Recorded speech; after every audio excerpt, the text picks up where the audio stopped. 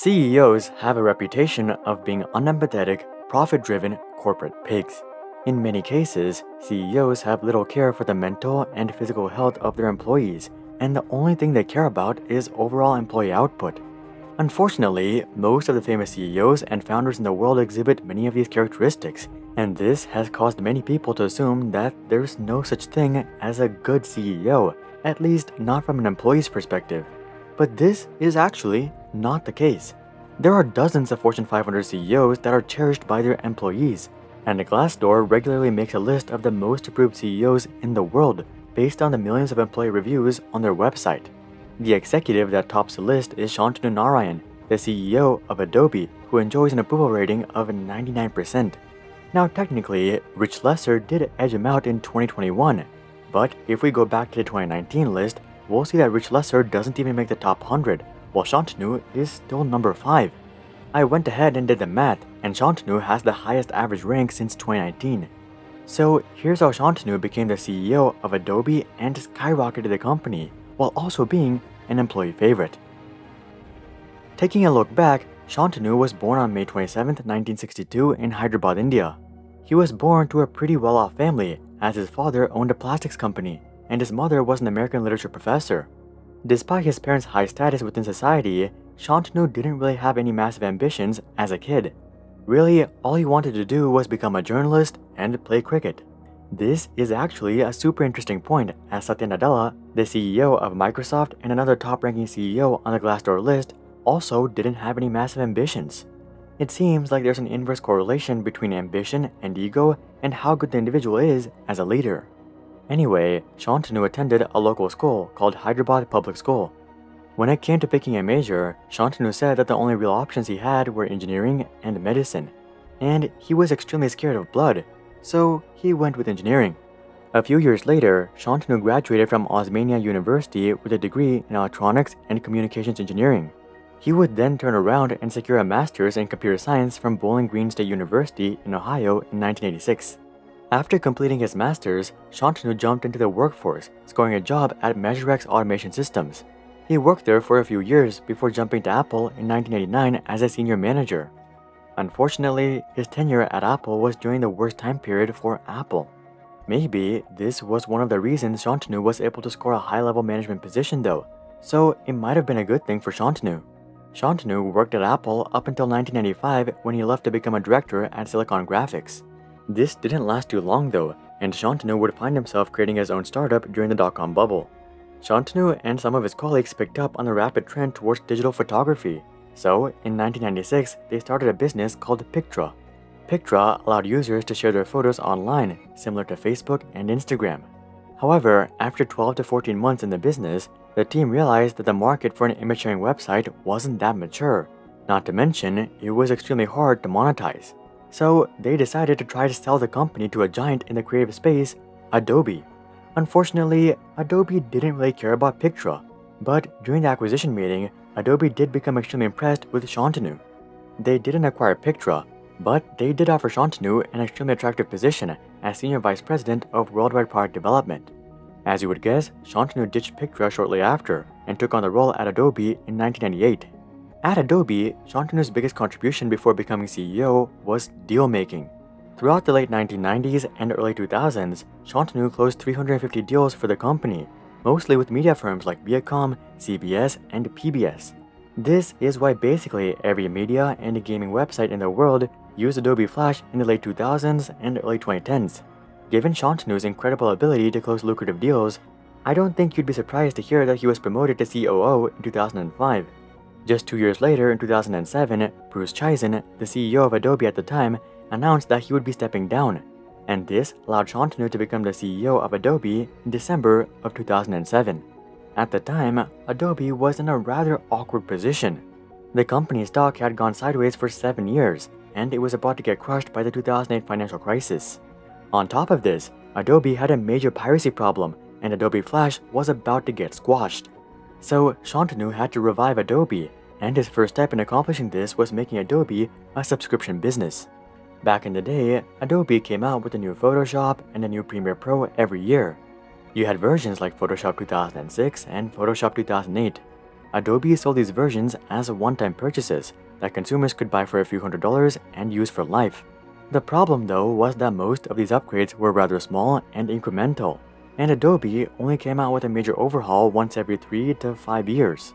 Given how expensive their products were, most customers simply skipped the incremental upgrades and only bought the major overhauls, which meant that Adobe only made revenue from each customer once every few years.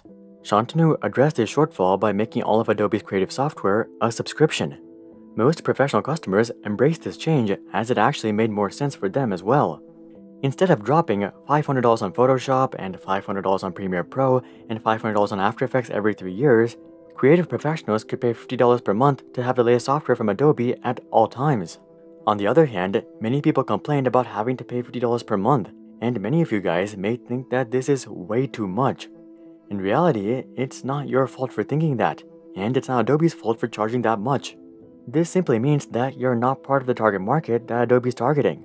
So, Shantanu fought piracy by making the revenue that Adobe did make from professionals more consistent and reliable. At the same time though, Adobe didn't make it that much harder to pirate their software, and this was intentional. Adobe is a massive tech company, and they could easily make their software unpiratable if they wanted to. I mean, it literally took the FBI 13 years to simply crack the iPhone's passcode lock. So I'd be willing to bet that Adobe's 21,000 employees could easily make their software unpiratable. However, Adobe knows that everyone who is able to pay for the software does pay for it. Here's the thing, Adobe's entire customer base is creatives who know firsthand how hard it is to create and run a business. And while some of these creatives may complain about Adobe's pricing, I'd be willing to bet that 98% of creative professionals who can afford Adobe software do indeed pay for it, myself included. Now of course, there's a 2% who are unethical and immoral.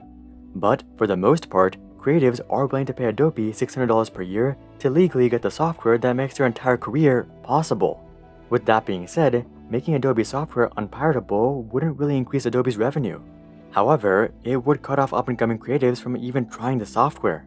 So, Shantanu strategically made their software difficult to pirate, but not impossible. And I think this is perfectly showcased in how they address pirated software. A few years ago, Adobe launched something called Adobe Software Integrity Service. This software comes along with all of Adobe's creative apps and is able to detect if the software you're using is pirated. If it is pirated, every time you open Premiere Pro or Photoshop, it'll tell you that the software is pirated. But guess what? It doesn't actually prevent you from using the application. It simply reminds you every time that you're using pirated software. And I think this approach embodies Shantanu's entire tenure as CEO and why he's such an admired leader. Shantanu doesn't lead by force, he leads by integrity and transparency. Adobe could disable the pirated software from being used right when they detect that it's not genuine. Or if they don't want to do that, they could at the very least run ads on pirated software to partially monetize it. But they don't even do that. They simply notify users that they know that it's pirated software. And they try to encourage users to pay for Adobe software by appealing to their morals and ethics. This is the same approach Shantanu uses with all of his employees. Nowadays, many tech companies are under the false impression that they can buy the loyalty of their employees. They pay absurd salaries like $200,000, $400,000, $500,000 per year, yet they're not able to hold on to their employees. Take a look at someone like Mark Zuckerberg. He pays his employees extremely well and gives them every amenity you can think of. The median salary itself at Facebook is $240,000 per year. Yet, Facebook also had the highest turnover rate in Silicon Valley until this year. Meanwhile, the median salary at Adobe is $134,000 per year. This isn't a low salary by any means, but it's also not absurdly high like their tech neighbors across the street. Adobe also doesn't have free restaurants on campus, and they don't give their employees free company cars. But what they do give their employees is absolute freedom. There's no clocking in or clocking out. There's no manager nitpicking everything you do, and there's no one forcing you to even do anything. Shantanu believes that great employees are self-motivated and that their self-output is far superior to anything that can be forced out of them. Now of course, if you abuse this freedom and slack off, you're gonna get fired. But employees who use this freedom responsibly love it. In fact, most of the reviews on Glassdoor and Indeed cite workplace culture as the best thing about Adobe. And considering all of this, I don't think you'd be surprised to hear that Adobe ranks number 2 in North America for best company culture only beaten out by Google. And as Shantanu expected, this insane performance in the employee and customer satisfaction categories has carried over to Adobe's financials. When Shantanu became CEO in 2007, Adobe was profiting about $500 million per year.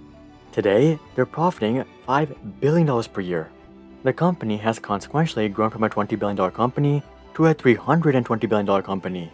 And that's how Shantanu blew up Adobe while staying in the good graces of his customers, employees, and investors. Do you wish your boss was like Shantanu? Or if you're in a leadership role, are you like Shantanu? Comment that down below. Also, drop a like if you think all leaders should lead like Shantanu. And of course, consider joining our Discord community to suggest future video ideas and consider subscribing to see more questions logically answered. But until then, I'm Hari, and I'll see you guys on the next one.